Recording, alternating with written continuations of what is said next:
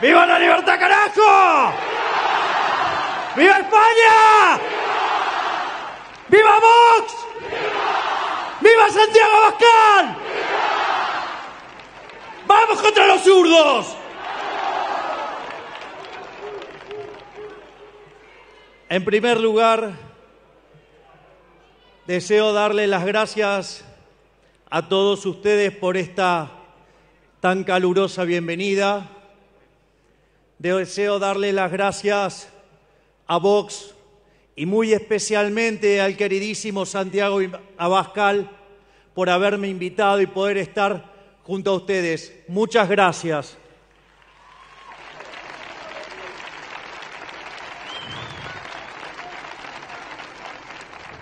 Mi charla de hoy esencialmente va a ser sobre la batalla cultural y con especial foco en mi materia, que es la economía.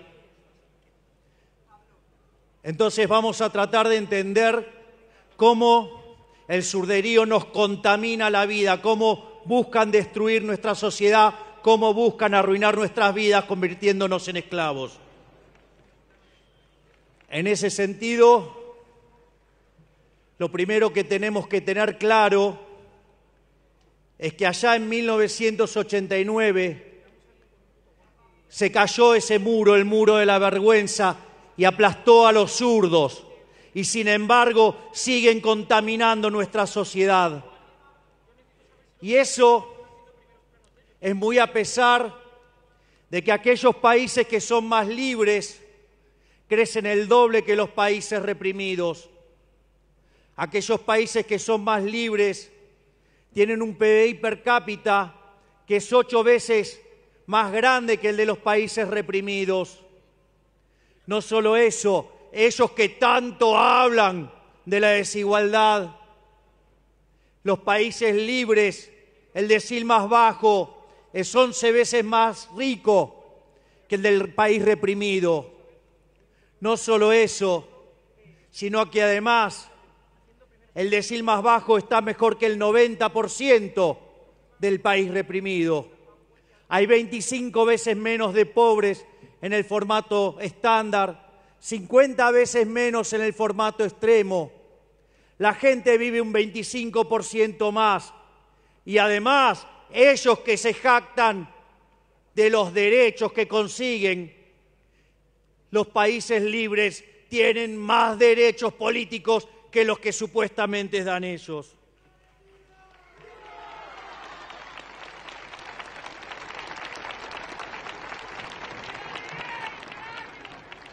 Frente a estos números,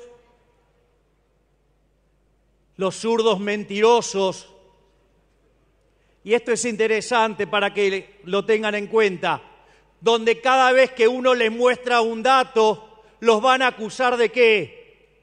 De ser violentos, los van a acusar de discurso del odio. Estimados muchachos de la izquierda, dos más dos es cuatro.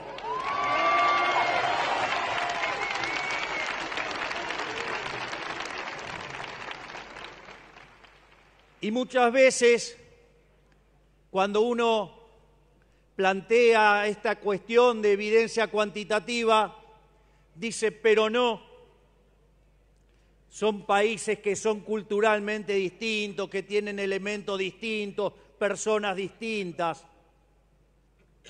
Y la realidad es que la evidencia también los contradice. Porque cuando uno mira la experiencia de Alemania, la Alemania occidental, la Alemania capitalista progresó y sin embargo la Alemania comunista se hundió. De hecho, el muro en realidad verdaderamente mostró la caída del socialismo no en 1989, sino cuando lo tuvieron que construir en 1961. Es más, esa triste historia está narrada por una canción de un compatriota de ustedes, Nino Bravo, que se llama Libre y que justamente cuenta la historia de Peter Fetcher cuando intentó salir de ese horror que es el socialismo real.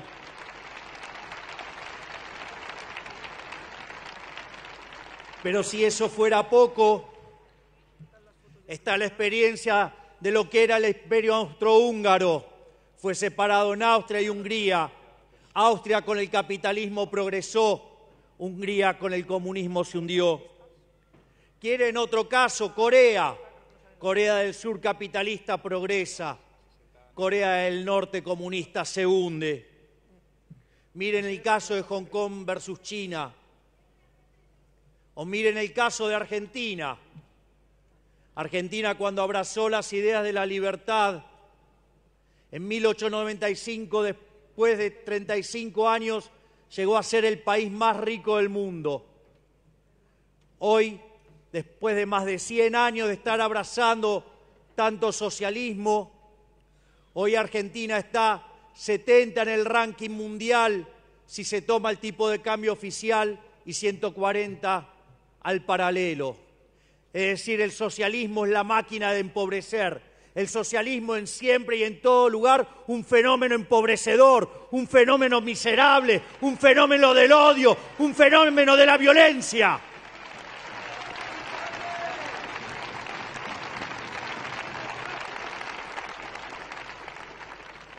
Y en este contexto, donde todo lo que tocan lo arruinan y lo empobrecen, decidieron trasladar la batalla y la lucha de clases desde la esfera económica a otros aspectos de la vida social para ir inoculando esa basura que es el socialismo.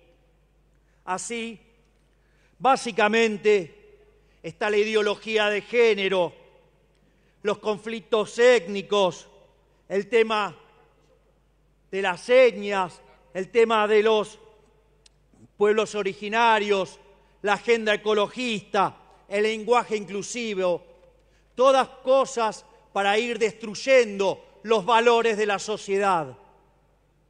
Y obviamente eso no es ajeno a la agenda en términos de economía. En términos de economía, Básicamente lo que dicen los socialistas es que el sistema capitalista de libre empresa es injusto. Entonces tratan de poner, por un lado, el supuesto altruismo socialista versus el individualismo liberal.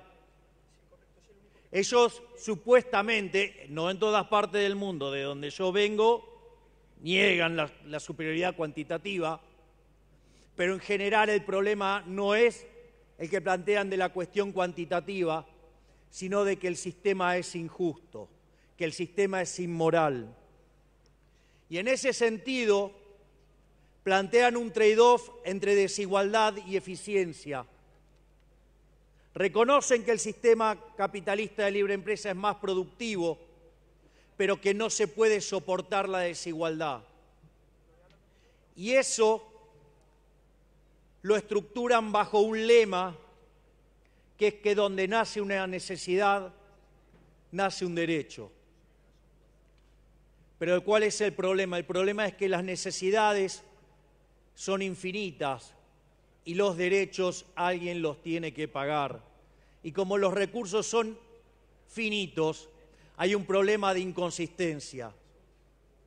Ese problema de inconsistencia entre necesidades infinitas y recursos finitos, la ciencia económica y el capitalismo de libre mercado lo resolvió, lo resolvió vía el sistema de precios. Sin embargo, a los socialistas que se caracterizan por su violencia no les gusta y entonces lo quieren recomponer y reconstruir vía la acción violenta del Estado, con esa idea de la justicia social una idea violenta, injusta, porque implica tratar desigualmente frente a la ley a la gente, implica quitarle a uno para darle a otro.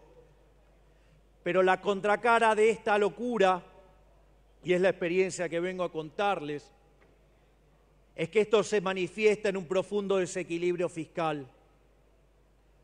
Entonces, en primer lugar, recurren al endeudamiento el endeudamiento es una política absolutamente inmoral, porque implica que la fiesta de hoy se la vamos a pasar a nuestros hijos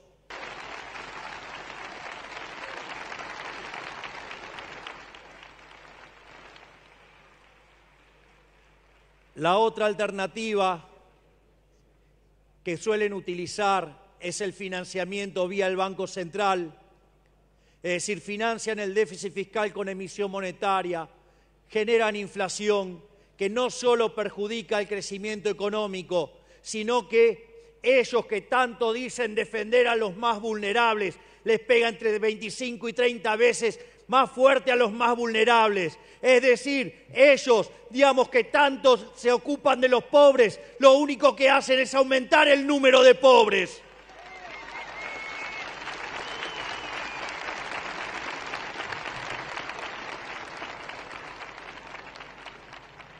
Y una vez, y una vez que agotan estas fuentes irregulares como es el endeudamiento, como es la emisión monetaria, recurren lisa y llanamente a la violencia que implica el cobro de impuestos. ¿O de dónde creen que viene la palabra? Impuestos a punta de pistola, coerción. Nadie los paga voluntariamente. Y en ese sentido, en la medida que van subiendo los impuestos, va apareciendo el Estado presente y todo lo va destruyendo y el desempeño de los países cada vez es peor. Ejemplo, en Argentina, en los últimos 50 años se triplicó el tamaño del Estado con el verso de la justicia social y el número de pobres se multiplicó por ocho veces es decir, que el socialismo es una máquina de generar pobres.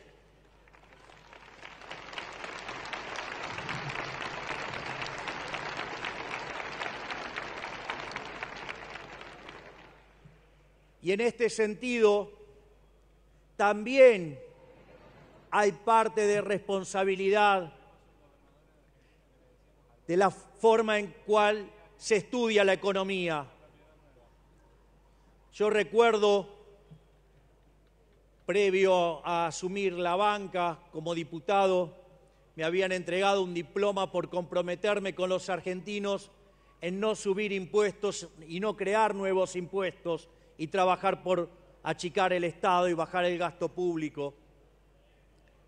Y en, ese, y en esa reunión donde yo tenía que disertar,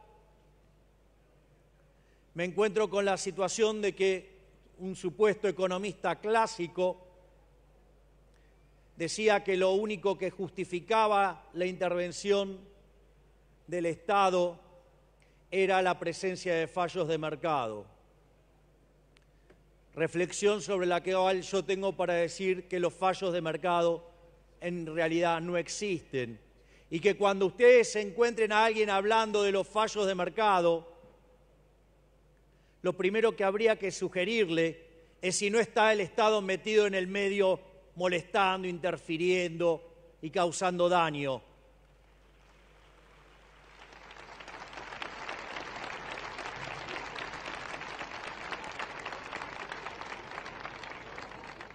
Y si aún así se mostrara que no está metido el Estado, invitaría a quien diga eso que vaya y estudie de vuelta el tema porque seguramente lo hizo mal.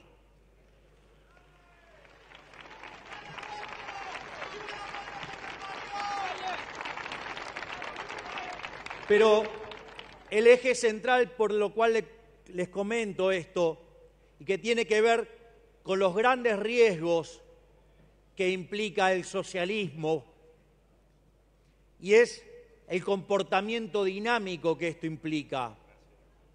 Ya en su libro Intervencionismo, el mito de la tercera vía, Mises decía que no había soluciones intermedias, que solamente existe el capitalismo de libre empresa y el socialismo real. Y siguiendo la lógica de camino de servidumbre de Hayek, cualquier intervención que se haga lo que va a suceder es que conduce a más socialismo, porque cuando aparece un supuestamente iluminado desde la poltrona diciendo que el mercado falla, lo que está diciendo es que no sabemos tomar nuestras propias decisiones y que ellos las pueden tomar mejor que nosotros. Y eso es falso, porque no son omniscientes, no son omnipresentes, no son omnipotentes, no son Dios. Los políticos no son Dios.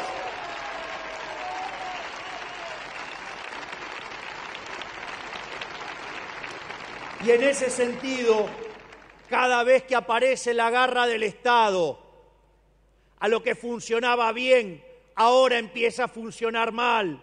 Y eso después demanda más intervención y después aparece más Estado y aparece peor funcionamiento y así sucesivamente.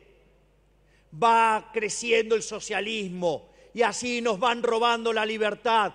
Por lo tanto, quiero también dejarle el mensaje que esto no es para tibios. Acá no valen las soluciones intermedias, porque las soluciones intermedias son funcionales a más socialismo, son funcionales al comunismo.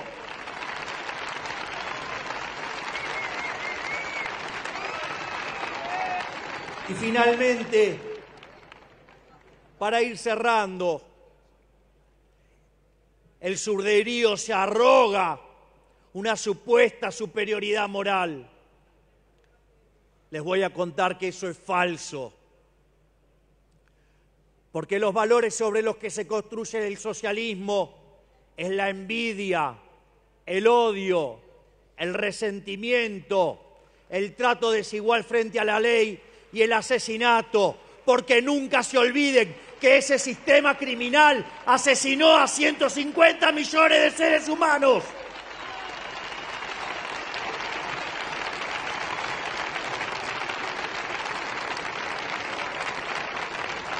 Mientras que por otro lado venimos y le proponemos el sistema de la libertad, como fue definido por el máximo prócer de las ideas de la libertad en Argentina, el gigante profesor Alberto Venegas Lynch, hijo, que dice que el liberalismo es el respeto irrestricto del proyecto de vida del prójimo, basado en el principio de no agresión, en defensa del derecho a la vida, en defensa del derecho a la libertad, en defensa de la propiedad privada, cuyas instituciones no solo son la propiedad privada, los mercados libres, la libre competencia, la división del trabajo, la cooperación social y donde solamente es posible ser exitoso sirviendo al prójimo con bienes de mejor calidad a un mejor precio. Por lo tanto, no tengan miedo, vayan y den la batalla contra el surderío, que se la vamos a ganar.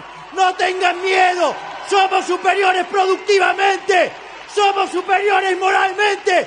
Vayan y den la pelea.